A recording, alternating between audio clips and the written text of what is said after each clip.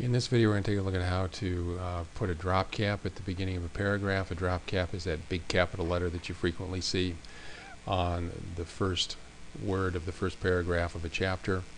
And it is easy to do in Word. Uh, it's an option on the insert command, and it is over here in the text group.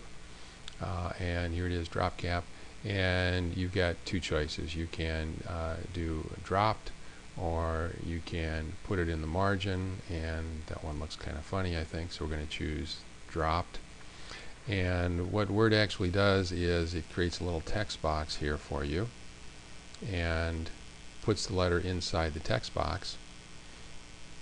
And uh, you can it's just ordinary text in here if you want to go in and, and you know change the font. If you uh, don't like that particular font size you know you can you can pick something else and uh, so it's just ordinary text inside of a text box.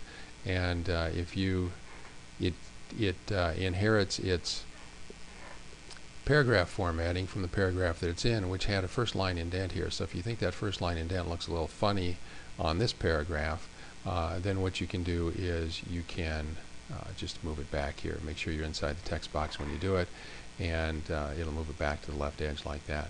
Uh, you can also go in here, you know, and since this is ordinary text, you can do any of the ordinary um, formatting options. You know, you can change the font, you can change the style if I want to make that, that bold.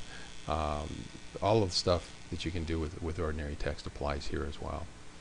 Um, and about the only other thing uh, that we need to take a look at here is uh, there are some options, but the options here are relatively simple.